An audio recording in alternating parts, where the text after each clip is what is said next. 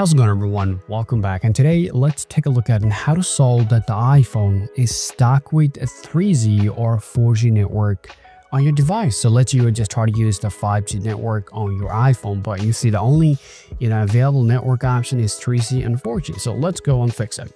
To activate the 5G and in order to just remove the 2G, 3G or 4G from your iPhone, there are a few settings that you guys really have to tweak up.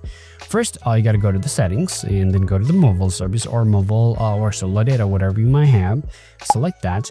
First, you got to select mobile data option, select voice and data, and you have to select 5G on. Sometimes before selecting 5G autos, and it might can switch to 4G, 3G, even 2G. Select 5G on and make sure to enable the VoLTE.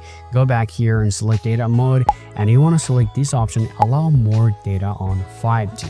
So if you just simply enable these two important settings on your iPhone, I can tell you guys your problem is going to be solved, but still there are a few things you guys can do to solve your problems even further.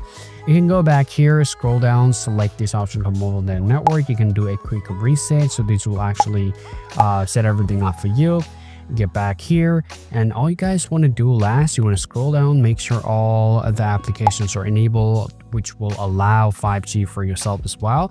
And then you want to go back here scroll down to the general you scroll down select that um, background app refresh select this option from here. So all you want to do you want to select this option off. So if you are running too many applications in the background especially if it takes a long data or let's say you know a large amount of data it can sometimes interact with you and can give you the 2g or 3g problems and now all you want to do is just get, get back here and simply just go ahead and restart your iPhone.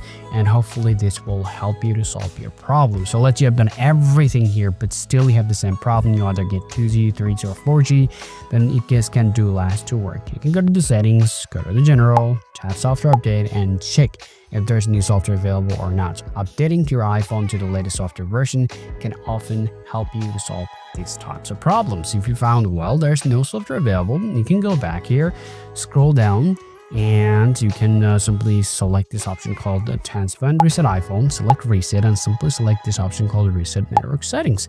If it's the problems with the network related of course it is doing this will actually help you to solve your problem.